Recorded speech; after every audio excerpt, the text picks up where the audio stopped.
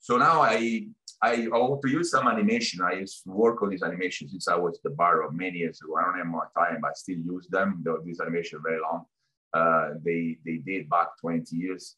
But it's good to have an overview of the approaches. Basically, I tell always my fellows they need to have more eggs in the basket. They don't know they don't need to do one single approach because that's the only approach they know how to do. That's why I always emphasize with young guys just to go to the lab, train. During, during your training, trying to learn as many approaches possible. And then yourself, you decide which one will be best suited for that particular patient. And this very valuable time you spend in learning this stuff now, that once you are in your clinical practice, uh, later on in your career, it's very difficult. You're going back to the lab or you're going back to learn these approaches. That's why you'll be a little limited in your armamentarium. So that's a good time to do it. Uh, I'm trying to do, again, I'm trying to squeeze in this time the most I can. We start from anterior approaches, as you can see here, uh, with some, there is a lot of variations. So if I want to talk about all these variations for each single approach, it will take me an hour only for each single uh, surgical perspective. So I try again to make a little short so that we're going to see the purely anterior approaches uh, with the subfrontal and uh, supraorbital, we're going to see anterolateral, which is the most important is the pterional approach, some modification of pterional approach, like a frontal orbital zygomatic. And I'm going to mention a couple of variations as well. And then we're going a little bit more lateral. Sorry. Uh, and being more lateral in this approach, and we're going to uh, consider all the transpetrosal, subtemporal anterior petrosal, posterior petrosal, and then we're going to go posterolateral, retrosigmoid, um, uh, and some of the trans, uh, posterior transpetrosal approaches, the far lateral. Um, we won't have much time. I would like to see if we can cover also the supracerebellar infratentorial, interhemispheric, and some of the transcallosal approaches. Uh, but to make it short, the three most important ones we use mostly for skull base are the anterolateral, mostly the orbital zygomatic with all the variation, the lateral, the transpetrosal, and posterior mostly the far lateral approach. With these three approaches, you can gain access to the entire skull base. So from the entire clivus, from the top of the clivus, namely the posterior uh, process, all the way down to the foramen magnum. So these three major approaches, which you really, I really suggest anybody to master. This is not something for a pure skull-based surgery. Everybody, I think, should be able to, to, to, to get familiar with these approaches. You can gain a good exposure to the most difficult challenge in pathology, particularly the basal skull.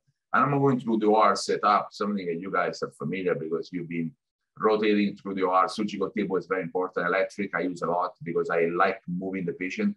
That's why it's important to secure the patient properly to the table because you want to be able to move that table a lot because that's a way to increase exposure, avoid brain retraction, and overtaking obstacle surgical position is something I spend a lot of time with my fellows and my young residents because uh, if you just do a good positioning, if you position a patient properly, your life is going to be much easier. Um, the most common one is the supine approach, the lateral approaches, a lateral positioning, of course. And the idea is just always, I always say all the time, to keep the vertex down as much as you can. In this case, particularly in the supine for anterior approaches, anterolateral, vertex down 15 degree.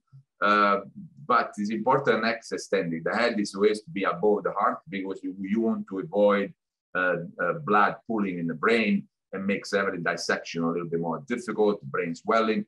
So you work a lot with anesthesiologists. It's important, remember, it's a teamwork. Make sure the airways are always clear.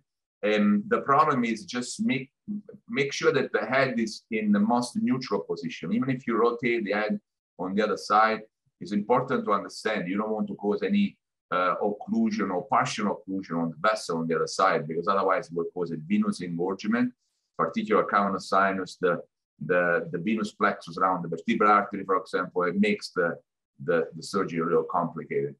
Uh, but the, the major point of good positioning is to avoid obstacle, to go around the obstacle and trying to minimize brain retraction so and maximize exposure. Though I, I, I, will go through some of these positions as we talk about the approaches, uh, but just to just to understand what I I think the most recommended approaches, uh, the most the one I recommend the most are the basic one for all intracranial procedure uh, would be the supine and the lateral oblique.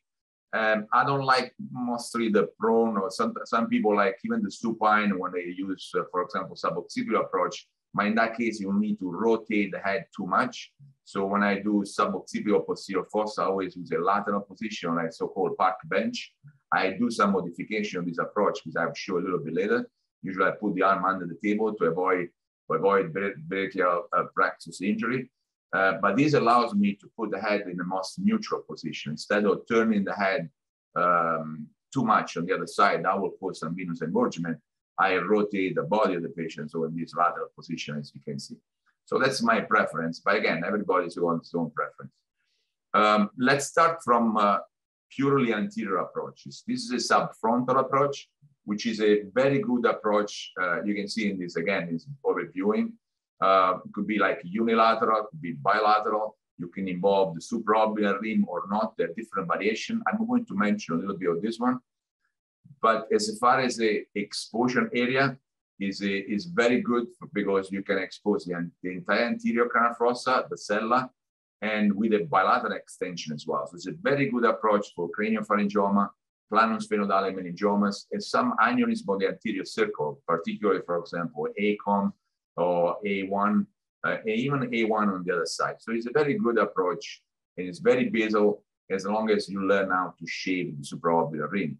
The head, as you can see in this case, is, is a, uh, at least 15 degree vertex down.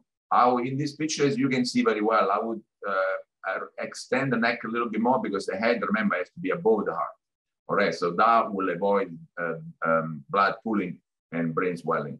But again, just uh, the fact you position with the vertex down allows the, the frontal lobe to fall back even that centimeters is important to just minimize brain retraction. So all these tools are extremely essential. And then you can see the different option for a unilateral subfrontal approach. One is the purely basal without touching the supraorbital rim. The second one is involving the supraorbital rim. This allow even in minimize even further the, the need for brain retraction. This is very option, a very good option, and it's important to train for doing this one because if you do properly, cosmetically is acceptable as well, as long as you know how to replace properly and you don't want to drill too much bone after you've done the approach, otherwise it would be difficult to fill the gap. That's why it's good to plan this approach uh, um, before you start opening, right? The other option is doing, including the bilateral extension. In this case, we can see we go on the other side as well. Hey everyone, Ryan Rad here from neurosurgerytraining.org. If you like that video, subscribe and donate keep our content available for medical students across the world.